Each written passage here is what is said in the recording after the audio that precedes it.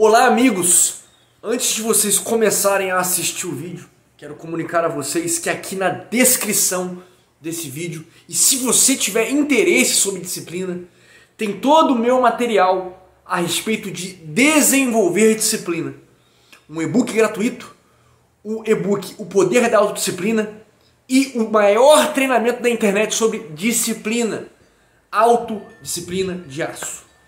Todo esse compêndio, todo esse material irá pegar você pela mão e desenvolver uma disciplina de aço para você conquistar qualquer coisa nessa vida. Nada é impossível para aqueles que possuem disciplina. Então os links estão aqui na descrição. Não perca tempo. Você precisa de fato consumir esse material. Você precisa de fato conhecer esse material. E a sua vida nunca mais será a mesma. Stay hard. E eu já quero passar para o segundo pilar, o segundo pilar da inteligência emocional vencedora, vitoriosa, que é o pilar do exercício físico. Você praticar todos os dias, ou pelo menos algumas vezes na semana, você praticar um exercício físico, um esporte, alguma coisa que te faça se mover, que faça o seu corpo se mover. Então, o segundo pilar importantíssimo que eu utilizo todos os dias na minha vida para fortificar a inteligência emocional é o pilar do exercício físico. Esse pilar é importantíssimo. Por exemplo, digamos que você sofreu um término de relacionamento, cara, o exercício físico ele te faz esquecer completamente. Quando você está ali puxando ferro ali, quando você está ali fazendo uma flexão ali, fazendo um exercício pesado ali, você esquece por completo aquele problema. Você se perde ali, você entra em um êxtase, em um, num, transe ali naquele momento ali, e você fica ali é, com toda a sua energia, direcionando toda a sua energia aquele exercício. E isso é importantíssimo quando falamos de inteligência emocional. Você praticar exercício físico, você redireciona seus pensamentos, redireciona sua energia aquilo dali e você esquece completamente dos problemas do dia a dia. Os problemas acabam se tornando coisas que não te afetam mais. Então, o primeiro pilar, trabalho, e o segundo pilar, exercício físico. Você está escrevendo aí? Pega um caderno, vai escrevendo, escreve um triângulo aí, que são três pilares importantíssimos. Ô Guilherme, o que, que você acha desse pilar aí? Eu acho que o exercício físico ele é fundamental, principalmente é, na questão do bem-estar. Hoje, infelizmente, é, existe uma visão muito deturpada do treinamento físico, principalmente do treinamento físico com peso, né? O fisiculturismo, bodybuilding, né? Ou seja lá como você queira chamar.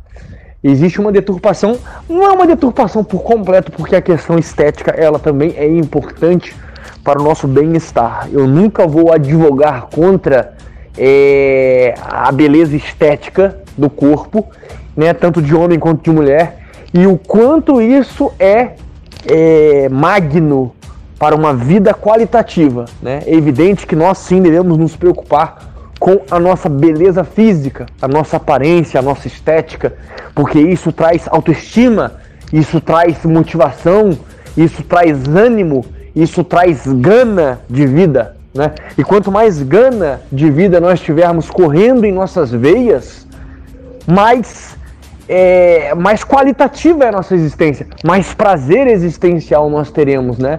Isso é bem estoico, isso é bem, é, isso é bem pagão, né? Essa questão do culto do corpo, essa questão do culto da, da, do corpo, mente e espírito, né? Mensano e na corpore sano. Mas assim, é, o principal né? O elementar não deveria ser a pauta no na estética, apesar dela ser importante. O principal está em nós compreendermos a ciência que é desenvolvida ao se realizar o exercício físico. O, qual é a ciência que está por trás? Qual que é essa parte é, é, hormonal exercida pelo exercício físico?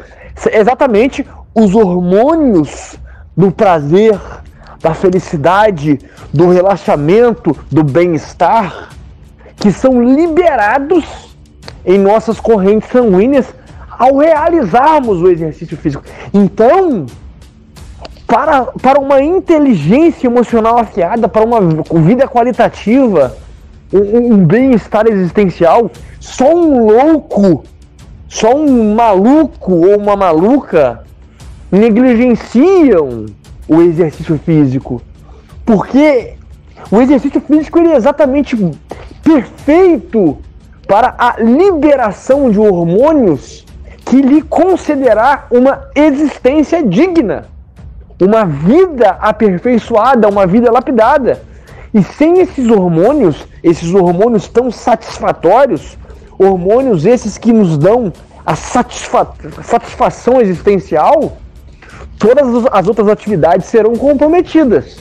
Todas as atividades que se seguem, né, depois do exercício físico ou quando não se faz exercício físico, todas as atividades do dia serão comprometidas.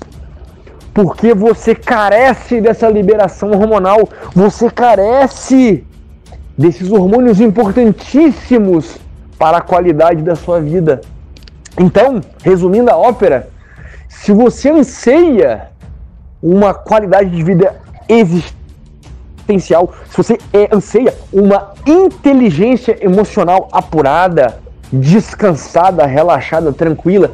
Se você deseja um dia a dia mais zen, um dia a dia mais tranquilo, em que os seus pensamentos não turvem o seu trabalho, a sua criatividade, a sua produtividade, principalmente, o seu foco, a sua concentração, a sua disciplina, é tudo, gente. Tudo.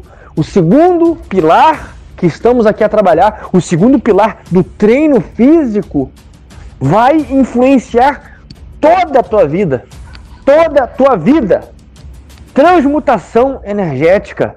Transmutar essa energia pelo treinamento físico vai fazer você nascer de novo, porra.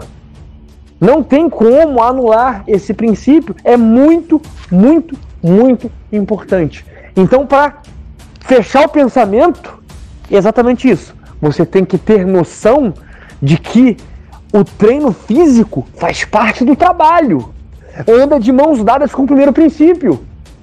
Um não pode existir sem o outro, porque o treino físico faz parte do trabalho. Todo o trabalho que será desempenhado ao longo do dia. Então, o exercício físico ele irá é, conseguir fazer com que você tenha todo o resto do dia, todo o trabalho desenvolvido no dia sendo feito de forma magna, de forma perfeita, apurada, aplicada. Negligenciar o exercício físico é um tiro na cara de 12. Por isso que muita gente reclama que não tem motivação para nada, não consegue criar nada, não tem criatividade, não tem foco, não tem concentração. Por quê? Porque não transmuta energia pelo treino físico.